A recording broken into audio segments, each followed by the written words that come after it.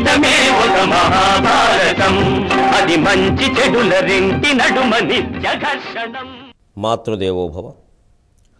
జగములేలడు తల్లి జనని ఎంచెంచి జాతరల్ పూజలో సాగింతువేమి జాతరల్ పూజలో సాగింతుగాని జగము నీవేలగా జన్మనిచ్చిన తల్లి జగమేలు తల్లి ఎంచెంచలే ఒక్కో. నిగ నిగల్ జారిన నీరుగారినను నినుగన్నది తల్లి నీ పూజ చెల్లి. సగమైన వేళని సాయం సాయము కోరి చాతకమ్మై నిల్వ స్వాతికాలేవే మన తల్లి తరువోజ మన మన పూజ మన జన్మమున కామే మధుమాధవీజ. చెడును నిర్మూలించాలంటే సాహసం ఉంటే సరిపోదు సహనము సమర్థమైన వ్యూహ నిర్మాణము కూడా ఉండాలనే విషయాన్ని మనకు అవగాహన కావిస్తూ ఉన్న మహాభారత కథాశ్రవణం కోసం ఎదురు చూస్తూ ఉన్న భక్తి టీవీ ప్రేక్షక మహాశైలందరికీ కవి బ్రహ్మ ఉభయ కవి మిత్రుడు తిక్కన సోమయాజ రచించిన ఆంధ్ర మహాభారతం ద్రోణ పర్వానికి సాగుతున్న సామాజిక వ్యాఖ్యలో పదకొండు వందల ఎనభై రెండో భాగానికి స్వాగతం పలుకుతున్నాం.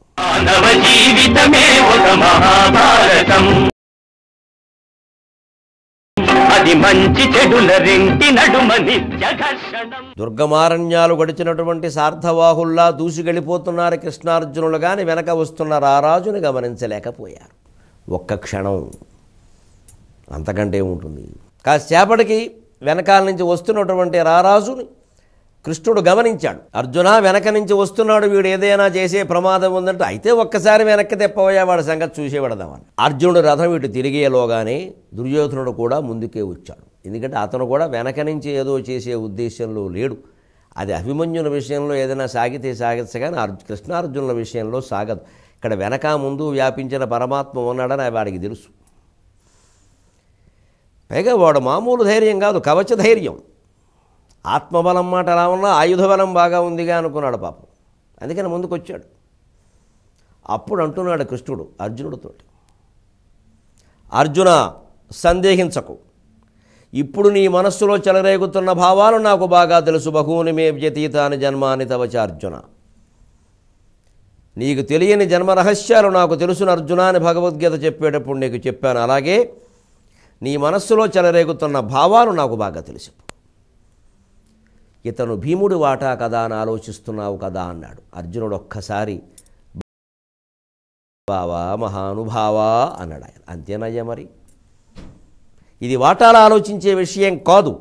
వీడు తెగించి వచ్చాడు ఎక్కడికి? మనకు నూనె తనికి సైంధవుడను నొడ్డున జూదమయ్యే అధిక ఉద్ధత్యంబున గెలువుము.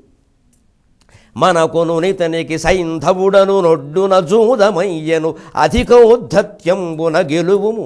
చిరకాలము మనమున రారాజునలుక మ్రందింపుదగన్ చిరకాలము మనమున రారాజునలుక మ్రందింపుదగన్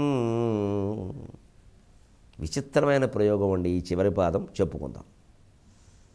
తిక్కన గారి యొక్క లౌక్యానికి పరాకాష్ట. ఆ హాస్యస్ఫురణ కూడా ఒక్కసారిగా దుర్యోధనుడిని చూడగానే అర్జునునికి ఉత్తర గోగ్రహణం నాటి మాట గుర్తొచ్చింది. ఏనుంగు నెక్కి పెక్కే నింగురిరుగడరా పురవీధుల గ్రాలగలే అతి మనోహరలైన చతురాంగనలతోడి సంగతి వేట్కల సలుపగలదే. ఈ మాటలన్నీ గుర్తొచ్చి ఏమిటి బావా? జూదమిచ్చట జూదమిచ్చటనాడంగరాదు సొమ్ము అని తానే వెక్కిరించాడు కదా అప్పుడు. అలా పారిపోయినవాడు మళ్ళీ ఈవేళ వచ్చాడు మళ్ళీ జూదం ఆడదామనా అంటే అవునయ్యా జూదం జూదం అని వెక్కిరించడం కాదు ఇప్పుడు జూదమే అంటున్నాడు కృష్ణుడు.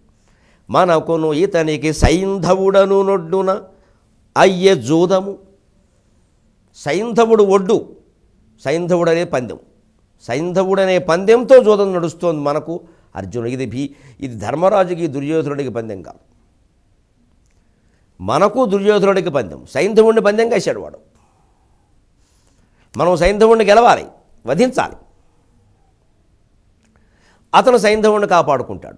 అంచేత మనకును ఇతనికి సైంధవుడను నొడ్డునయ్యే జోదము అధిక ఔద్ధత్యమున గెలువు. జోదంలో గెలవడానికి నేర్పు వీటితో పాటుగా కొంచెం హడావుడు కూడా అవసరం. జోదం ఒకటి కోడి పందాలు ఒకటి ఇవన్నీ ఏం చేస్తారు? కొంచెం హడావుడి చేస్తారు. అంటే హడావుడి వల్ల కొన్ని గెలుస్తాయి. మీరు కొన్ని చలనచిత్రాలు గమనించండి. ఒక మూడు రోజులు కాకుండా సినిమా పోయిందని ఒక మాట వచ్చింది అనుకోండి. దానికి హడావుడి చాలా చేస్తారు. టీవీలో ఎక్కువ వెంటనే షోలు పె- ప్రదర్శనలు పెట్టిస్తారు. ఆ హీరో గారిని. ఏమంటే ఈ సినిమా విజయవంతం అవడానికి ప్రధాన కారణం ఏమిటని మీరు అనుకుంటారు? అసలు విజయవంతం కాలేదు అది. దెబ్బతింది. కానీ హీరోని కూర్చోబెట్టేసి చాలా బాగా ఆడింది అంటున్నారు కారణం ఏమిటంటే ఆయన ఏదో చెప్తాడు. అంటే జనంలో ఆడుతుందనే అభిప్రాయం కలిగించడం అనమాట ఇంకా కొంతమంది ఇంకా యాత్ర మొదలెడతారు ఇంకా. అది ఎక్కడ ఏ చ- ఆలయాల్లో ఆడుతుంది ఏ సినిమా మందిరాల్లో ఆడుతుంది అక్కడికి వెళ్ళిపోవడం ఇంక థియేటర్లో. అక్కడ మొత్తం వీళ్ళందరూ హీరో గారు హీరోయిన్ గారు అందరికీ కరచాలనం స్వరచాలనం అనేది ఆ రకంగా ఆడిద్దామని. ఇవన్నీ వెర్రి వెయ్యి విధాలని ఇవన్నీ రకరకాల వేషాలు. అసలు జాతకాక. అలాగా కలియుగంలోనూ ఈ ద్వాపర యుగాంతంలో ఈ ప్రచార వ్యామోహం వల్ల వస్తువులను గొప్పగా భావించేలా చేయడం ఉంది. ఇది ఒక వ్యూహం అండి ఇది. ఎన్నికల్లో మనం చూస్తాం ఇక నుంచి మొత్తం ఆంధ్రదేశం అంతా ఇది భారతదేశం అంతా. ఏమి అసలు డిపాజిట్ రానివాడు కూడా నేనే నెగ్గుతానన్న భావన కలిగిస్తాడు. ఎందుకంటే అలా నెగ్గిన వాళ్ళు ఉన్నారు. అంచేతన జూదం కోడిపందాలు ఎన్నికలు ఇలాంటి వాటిలో నెగ్గడానికి పర పరాక్రమం యుక్తితో పాటుగా ఔద్ధత్యం చాలా అవసరం. హడావుడి చేసేయాలి ఉద్ధతి గర్వంగా అతిశయంగా. ఓ తిరుగులేదు నువ్వెంత నీ తలకాయ అన్నట్టుగా మాట్లాడాలి. అంచేత అధిక ఔద్ధత్యమున గెలువు. చిరకాలము మనమున రారాజు నలుక మ్రందింపు తగను చిరకాలంగా రారాజు మనస్సులో మన మీద పేరుకుపోయినటువంటి కక్షకి ఈ రోజుతో చరమగీతం పాడేయమన్నాడు. ఆయన మనస్సులో కక్షను ఆయన పోగొట్టుకోవాలి కానీ వీడు పో ఈయన పోగొట్టడం ఏంటంటే ఇది ఇక్కడ హాస్యస్ఫురణ చమత్కారం ఒక రకమైన లౌక్యం అంట అంటే ఆ ప్రాణి మాత్రం ఎంతకాలం బాధపడతాడాయో మన మీద కోపంతో ఈవేళ ఒక్క దెబ్బ వేసేస్తే ఇక మళ్ళీ ఉండడు కాబట్టి మన మీద కోపపడే పని లేదు. అనవసరంగా మన మీద అసూయతో రోజు నిద్రపోకుండా ఏడుస్తున్నాడు. అది మంచి చెడుల రెంటి నడుమని